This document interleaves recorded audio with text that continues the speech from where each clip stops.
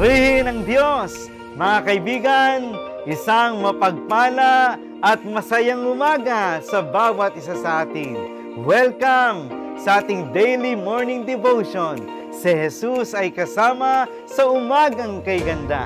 Ako po ang inyong devotional leader sa araw na ito, Pastor Jericho Ong.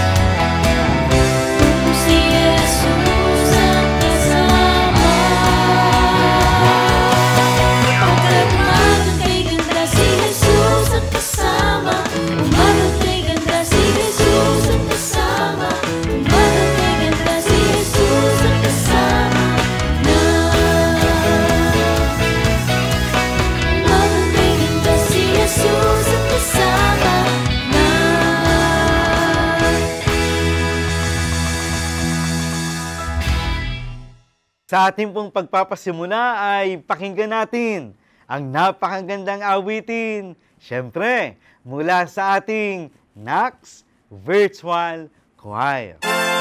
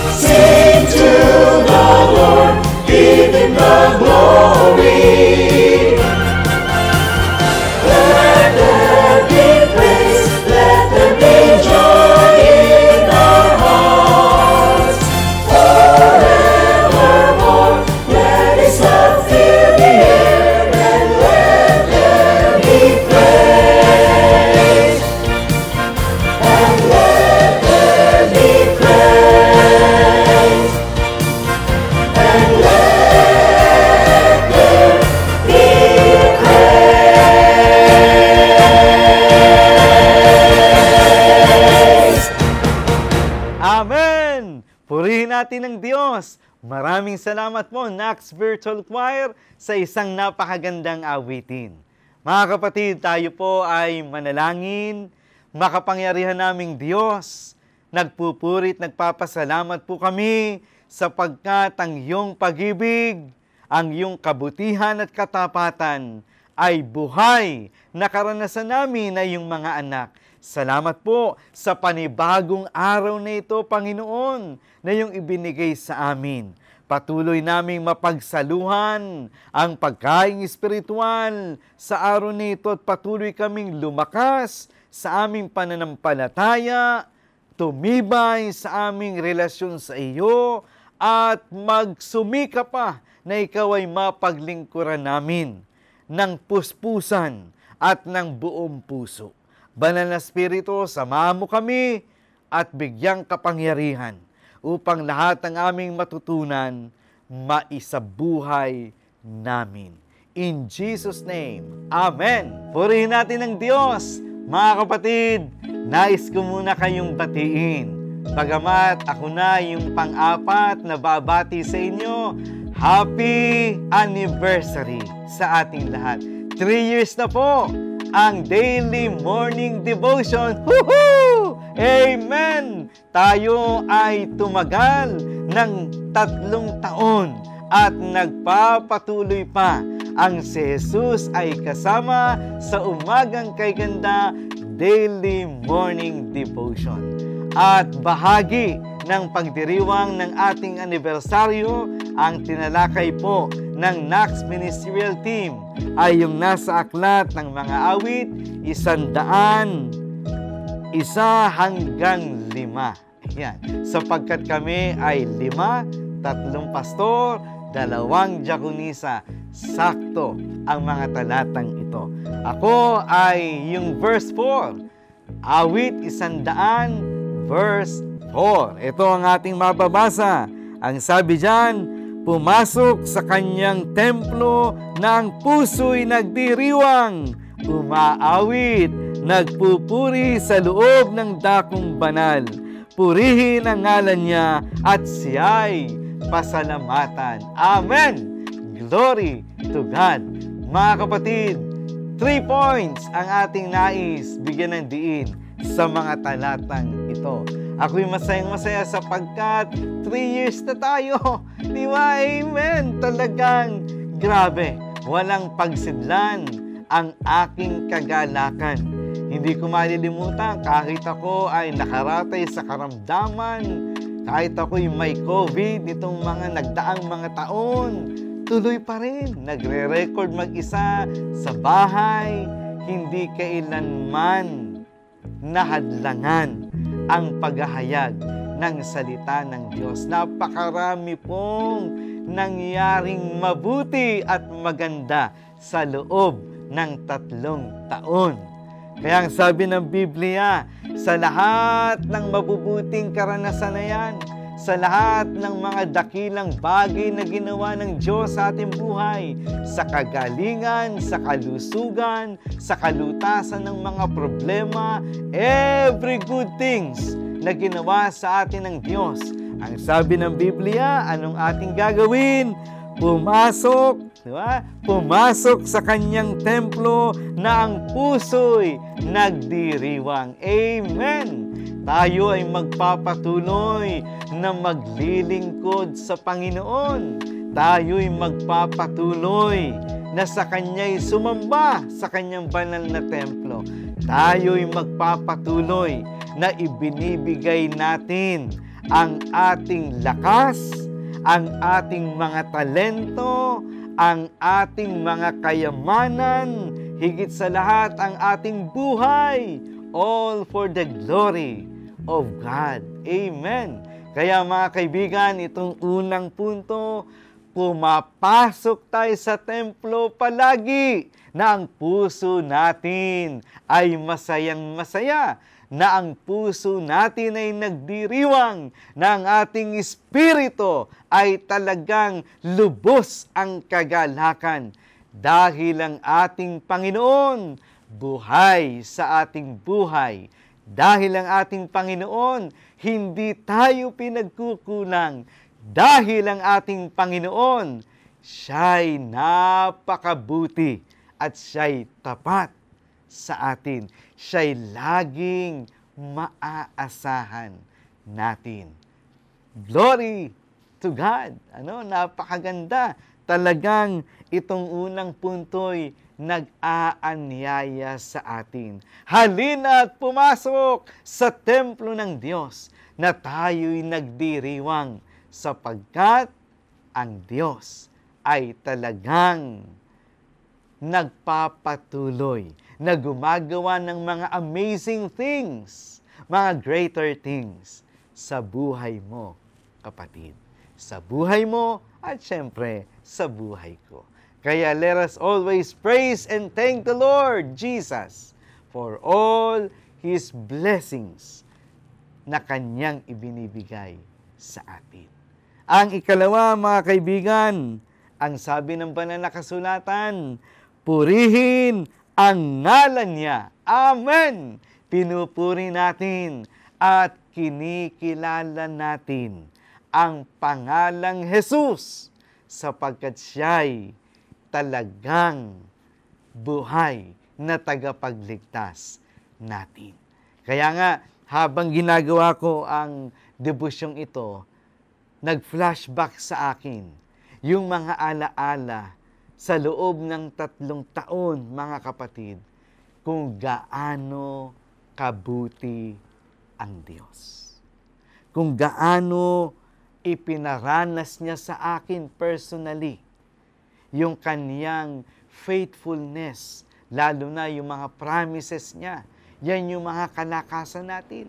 Diba? Sa loob ng tatlong taon, napakarami pong nangyari dyan. Diba?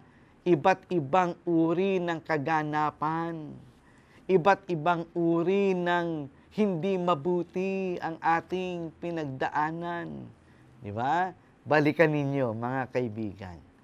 Ah, dumating ang COVID, pumutok ang bulkan, nagkaroon ng talagang malalakas na bagyo.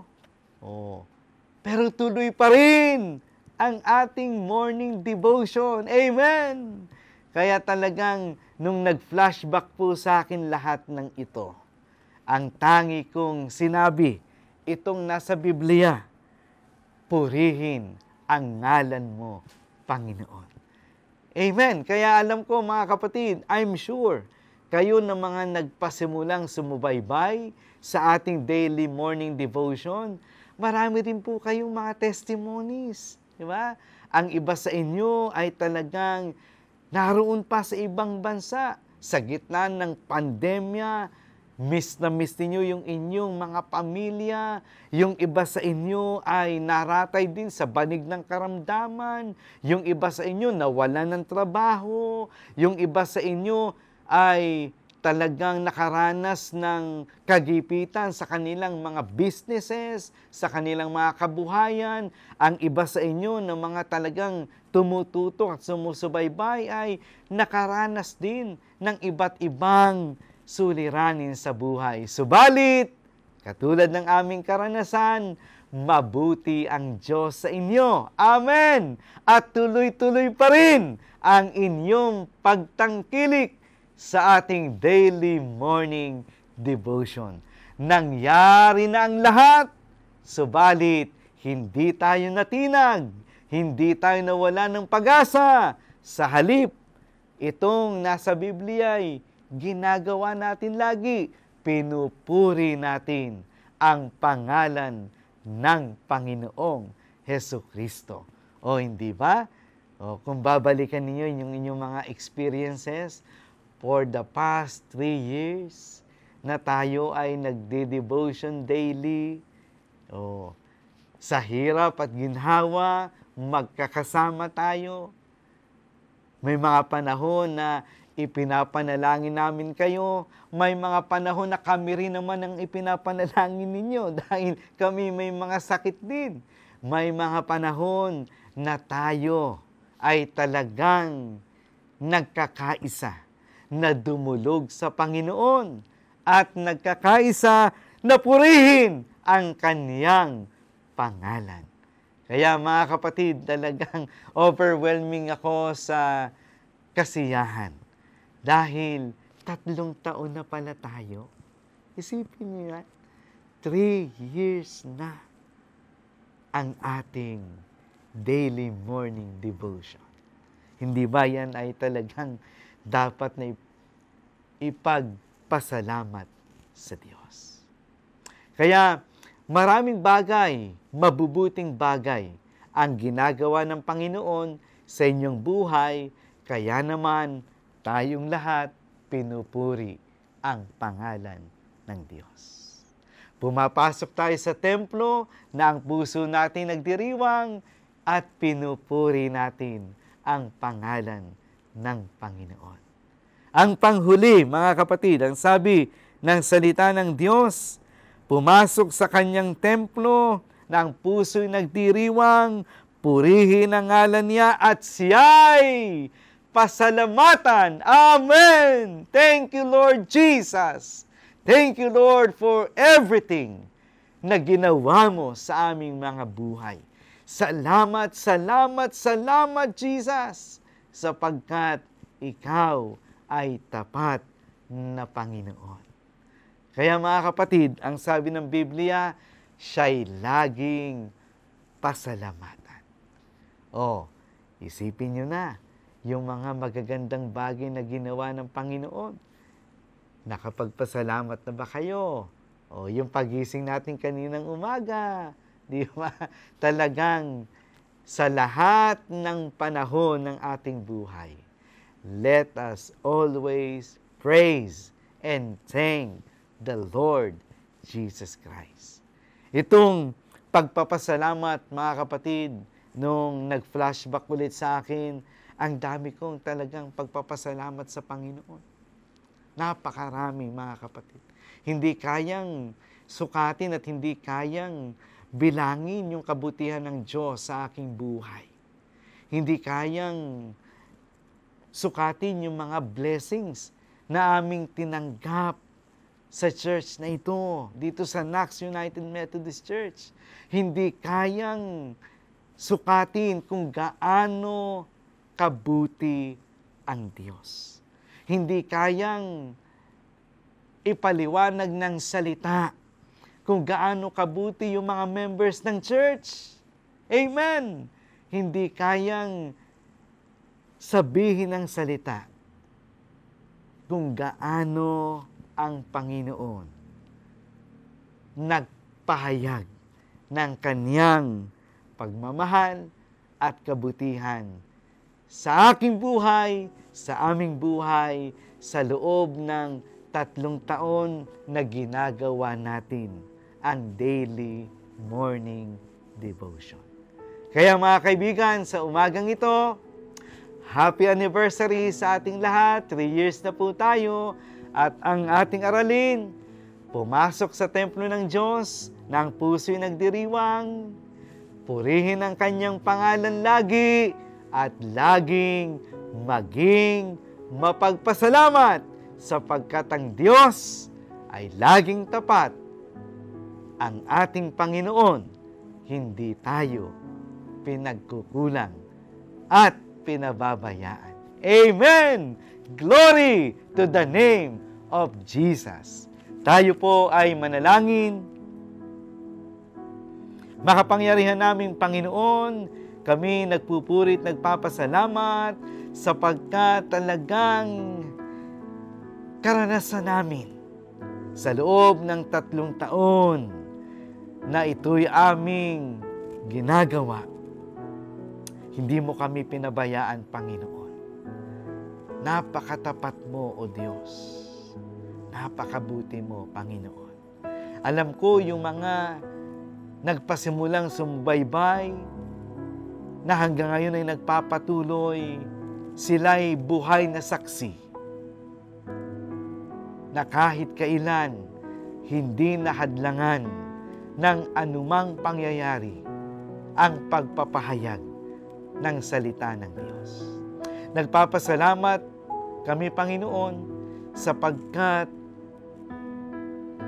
Ikaw ay Diyos na hindi nagbabago.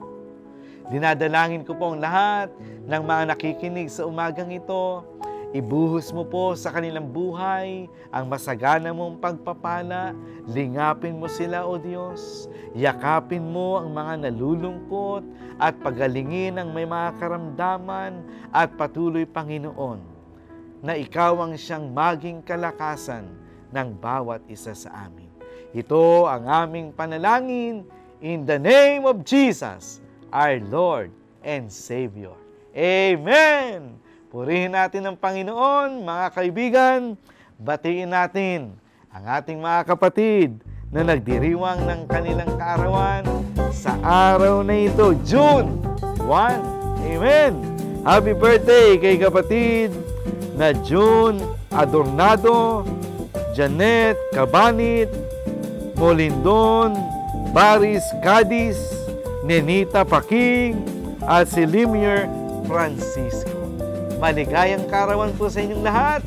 Pagpalain kayo ng Diyos ng mahabang buhay at mabuting kalusugan. Amen! Glory to God! Lagi nating tatandaan, ang Diyos ay mabuti sa lahat ng panahon. Glory to God!